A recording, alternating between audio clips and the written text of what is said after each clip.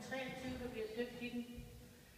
Og der gik en hel del over, hvor, hvor den bare lå i en papkasse, fordi øh, øh, min mor, som var plejebarn, det er, hun, øh, hun er så heller ikke døbt i den, og det er så Ståles oldemor.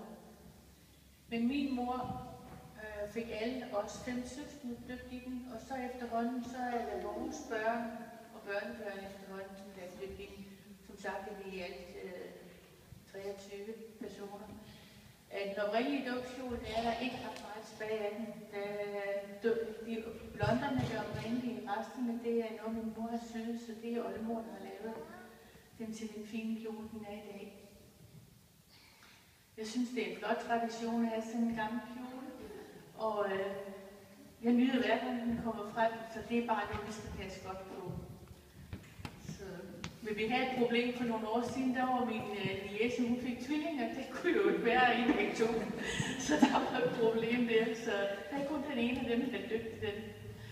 Så det var bare lige det, jeg ville sige om det, fordi mine tre drenge, som sidder derovre på bænken ved siden af Ståle og Moni, det er, de er også alle tre dygtige.